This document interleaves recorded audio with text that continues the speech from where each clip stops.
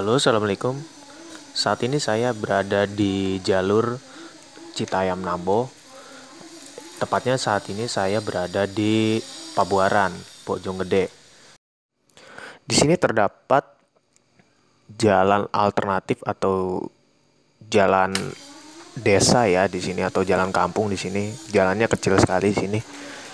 Hanya saja melintasi rel kereta di sini yang membuat saya ingin melihat di sini adalah jalannya kecil dan tidak ada sama sekali palang pintu yang dijaga oleh warga ataupun uh, rambu peringatan stop.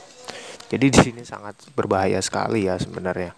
Hanya saja temboknya yang di sana tuh tembok yang di sana itu terlihat putus itu dan rapi berarti kan itu sengaja dibuat gitu loh. Sengaja dibuat untuk jalur di situ.